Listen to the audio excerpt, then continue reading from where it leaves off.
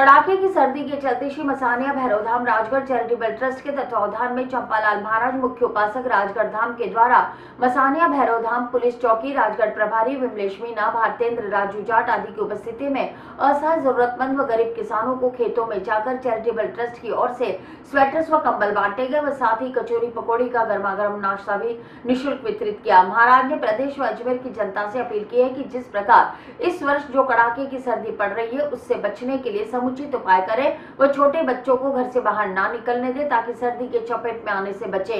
महाराज ने प्रदेश व अजमेर की जनता को आने वाले नए साल की शुभकामनाएँ देते हुए कहा कि सभी के लिए नया साल खुशहाली लाए, सभी निरोगी रहे व देश में अमन, चैन और शांति बनी रहे। नए वर्ष की प्रदेश की जनता को हार्दिक शुभकामनाएँ देता हूँ।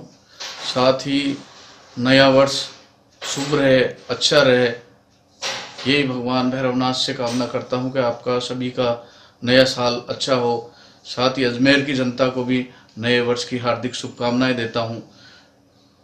कड़ाके की ठंड है, सर्दी है, अपने बुज़ुर्ग माता पिता अपने छोटे बच्चों का सर्दी को देखते हुए सभी को ध्यान रखना ज़रूरी है। साथ ही गरीब, ऐसा ही लोगों की ज़्यादा से ज़्यादा मदद करनी चाहिए। सर्दी में कोई कम्बल, सूटर जहाँ भी दिखे, गरीब आदमी की अनर्थ आश्रम अनर्थ कोई भी मिलता है, उसकी सर्दी में सभी को मदद करनी चाहिए। साथ ही मेरा सोच, नया साल, नया सोच।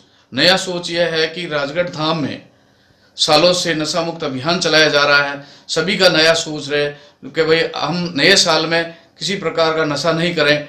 नए साल आज आज ही ये सोच ले कि हमें नए साल में किसी प्रकार का नशा नहीं करना। साथ ही बेटी बचाओ, बेटी पढ़ाओ का संकल्प लेंगे नए वर्ष के लिए। कि भाई हम बेटियों को बचाएँगे, बेटियों को पढ़ाएँगे और महिला हमारी बेटियों की हम सुरक्षा की पूरी पूरी पुख्ता व्यवस्था हो, ऐसी मैं सबसे कामना करता हूँ।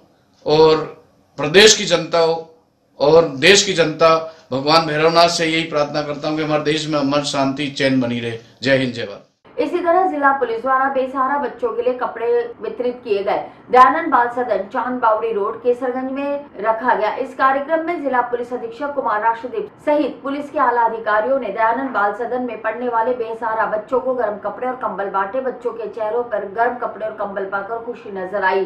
सभी बच्चों ने पुलिस कर्मियों का धन्यवाद किया। देखो नई साल आने वाली है।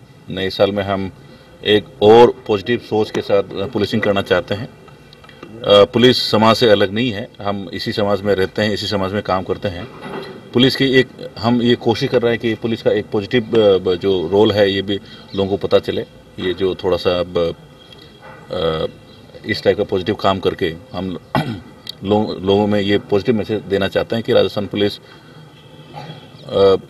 सारे काम करने के अलावा इस टाइप का पॉजिटिव सोच भी रखते हैं। करीबन कहाँ पे आज ये कार्यक्रम है? कितने बच्चों का कुछ कोई लक्ष्य रखा गया है फिर कुछ लक्ष्य ऐसा लक्ष्य कुछ भी नहीं है। ये ब, ब, एक मुहिम है छोटा सा मुहिम है।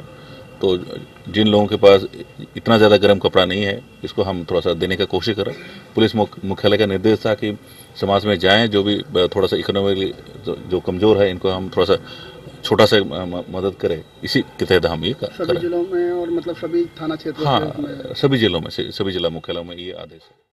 स्वामी न्यूज़ के सभी दर्शक तरोताजा खबरों के लिए यूट्यूब पर स्वामी न्यूज़ को सब्सक्राइब करें साथ ही शहर से जुड़ी तमाम खबरों के तुरंत अपडेट्स के लिए बेल आइकन पर क्लिक करें। यह न्यूज़ आपको कैसी लगी इसके लिए हमें कमेंट बॉक्स में आपके अमूल्य सुझाव दीजिए और इस वीडियो को लाइक व शेयर करें।